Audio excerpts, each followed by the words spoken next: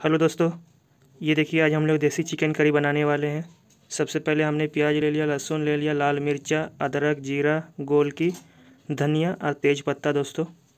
ये देखिए आपको सामने से चेकआउट कराते ये देखिए। ये हमने सारा क्वांटिटी इस हिसाब से ले लिया है। चलिए आपको आगे दिखाते हैं दोस्तों। ये देखिए दोस्तों, हमारा मसाला पीस के हमने मिक्सर ग्राइंडर के जार पे हमने रेडी कर लिया है। ये आप एक बार चेक कर लीजिए, ये हमारा मसाला रेडी है।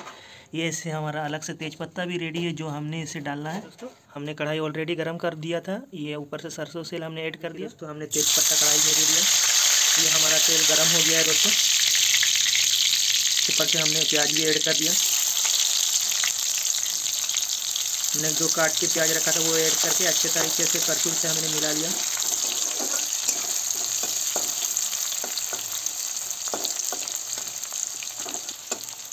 इस वीडियो में दोस्तों हम लोग डायरेक्ट बनाएँगे चिकन को।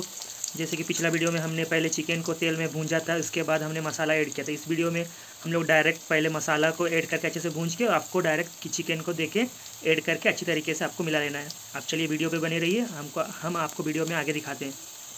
आपको प्याज को तब तक भूंज लेना जब तक प्याज सॉफ्ट ना हो, थोड़ा ब्राउनिश ना हो, तब तक आपको अच्छी तरीके से इसे भूंज लेना है दोस्तों।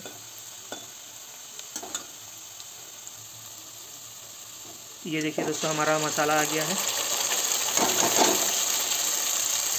ये ये हमने मसाला ऐड कर दिया अच्छी तरीके से। फिर हमने करछुल से अच्छी तरीके से इसे मिला लिया। फिर थोड़ा सा हमने फ्लेम हाई कर दिया गैस का। ये देखिए दोस्तों, हमने ऊपर से हल्दी ऐड कर दिया इसमें। हमने अच्छी तरीके से दो से तीन मिनट अच्छी भूंज लिया उसको मसाला को। ये हमने अभी हल्दी ऐड करके हमने इसे फिर से अच्छी तरीके से भूंज लिया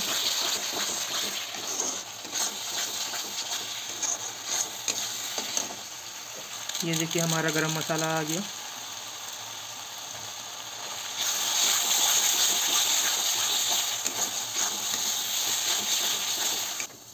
ये देखिए दोस्तों, अभी हमारा कश्मीर गुंडा आ गया। आपको क्वांटिटी के हिसाब से इस्तेमाल करना है आपको ज़्यादा लाल चाहिए तो आप ज़्यादा डाल सकते हैं। आपको कम चाहिए तो कम कम कम दीजिएगा। आप ज़्यादा, आपको ज़्यादा रेड रेड टाइप चाहिए तो आप थोड़ा क्वांटिटी बढ़ा दीजिएगा। फिर से आपको अच्छी तरीके से एक बार मिला लेना है। फिर हमने स्वाद अनुसार नमक ऐड कर लिया।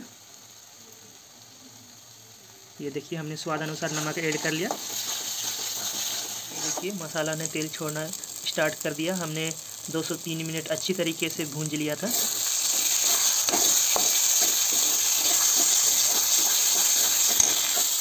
ये देखिए।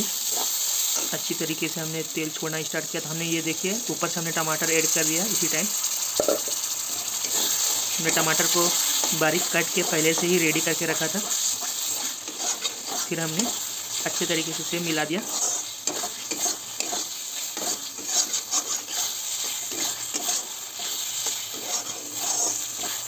अभी हम लोग टमाटर को गलने देंगे, अच्छी तरीके से बीच बीच में चलाएँगे।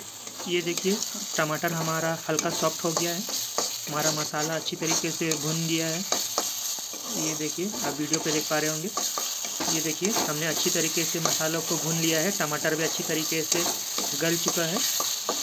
ये देखिए ये देखिए, हमने फिर देसी चिकन ऐड कर लिया है इसमें। आज हम लोग का बनेगा देसी चिकन करी। ये देखिए, हमने सब चीज़ काट के रखा था। ये देखिए, हमने घर में ही काटने का काम किया था दोस्तों। ये देखिए, हमने अच्छी तरीके से फिर मिला दिया।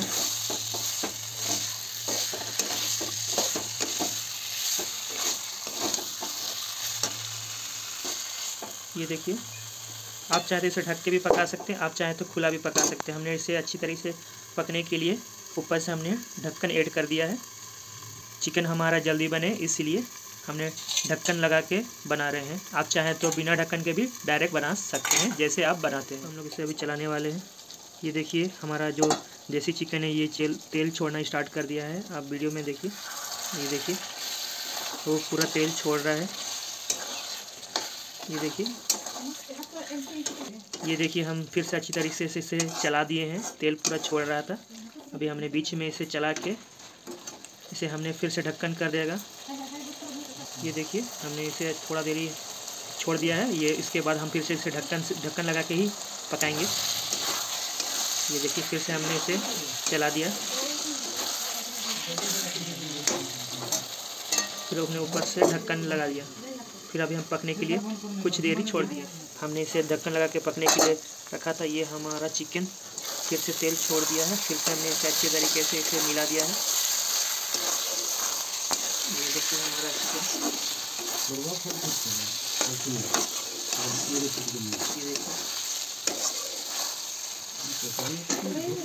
ये देखिए दोस्तों। ये देखिए दोस्तों। पूरा रेडी हो गया। अभी हम चिकन को आप दिखा रहे हैं। ये देखिए सामने से आपको चेक करवा रहे हैं। ये देसी हमारा चिकन करी है। देखिए हमने पानी डाल दिया है। चिकन करी में पानी हमने ऐड कर दिया है। आप ज़्यादा ज़्यादा ग्रेवी करना चाहें तो आप ज़्यादा पानी ऐड कीजिएगा। और कम ग्रेवी करना चाहें तो कम पानी ऐड कीजिएगा। ये देखिए हमारा देसी चिकन करी अब बन के कुछ ही देर में रेडी हो जाएगा। ये देखिए, अभी इसे हम थोड़ा सा पकने के लिए हम ढक्कन लगा देंगे। इस टाइम आप चेक कर लीजिए, अगर आपका नमक कम लगे तो आप इसी टाइम ऐड कर दीजिए ये देखिए फिर हमने पकने के लिए इसे ढक्कन लगा के छोड़ देना है। ये देखिए, हमने ढक्कन लगा दिया और हमने छोड़ दिया कुछ ही देर। ये हमारा देसी चिकन करी बन के रेडी हो गया है। बहुत ही अच्छा दिखने में लग रहा है, टेस्ट भी बहुत ही सुंदर आ रहा है। ये देखिए हमारा हमने जो धनिया पत्ता काट के रखा था, ऊपर से हमने गार्निश कर दिया इसको। ये देखिए ये देखिए, हमने ऊपर से हमने गार्निश कर दिया। ये हमारा देसी चिकन करी बन के बिल्कुल रेडी हो चुका है।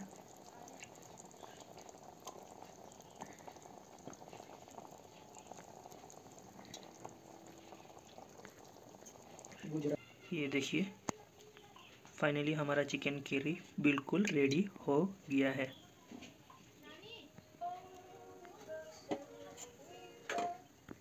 हमारा चिकन करी का फाइनल लुक ये देखिए। ये देखिए हमारा चिकन का फाइनल लुक आपको दिखा रहे हैं। वीडियो पे देख सकते हैं। आपको वीडियो अच्छा लगा तो लाइक करें। चैनल पे नहीं हो तो ज़रूर से ज़रूर सब्सक्राइब करें। Thank you